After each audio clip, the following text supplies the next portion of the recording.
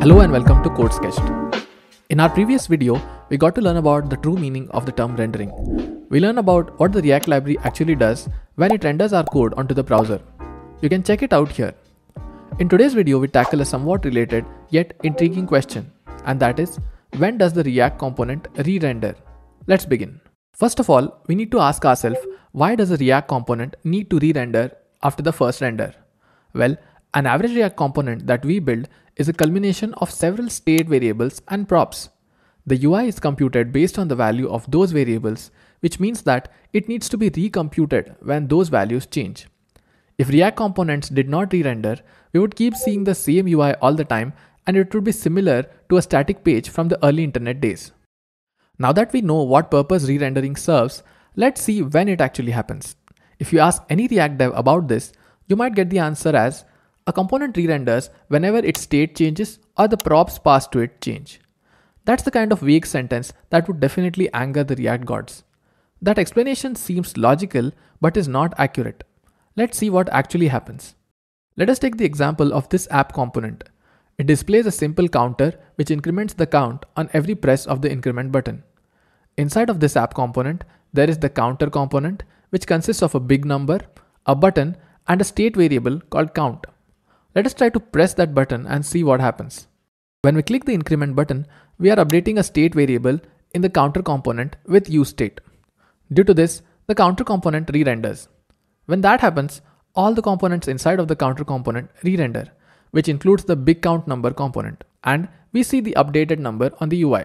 Do note that because the state that got changed was in the counter component, nothing outside of the component needs to be rendered which means our app component does not re-render. Only the counter and the big count number component do. But why do you think the big count number re-rendered? Is it because it accepts the count variable as a prop and that got changed? Let's find out.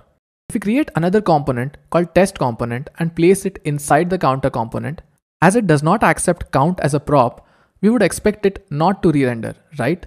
But to our surprise, it does re-render even though it does not have any dependency on the count state variable. Well, that happens because in React, whenever a parent component renders, all the child components inside of it re-render. But why does that happen? It happens because React assumes that all the components are not pure, which means that the rendered output of those components does not just depend on the inputs that are provided to it. Maybe the test component needs to call an API and get the latest data on something that has now changed from the last time it rendered. Maybe it just accesses the current time and need to render that on the UI. You see how easy it is for a component to be not pure due to these so-called side effects? That is why React does not want to take any risks and find it better to just render all the children and generate the latest UI. With that new information, you might be thinking it would be a huge performance problem and might even be scared to create React components with a large number of children. But don't worry, that is where the brilliance of React comes into the picture. Even though React is rendering all those components multiple times, it does not mean that it is actually creating the entire DOM from scratch every time.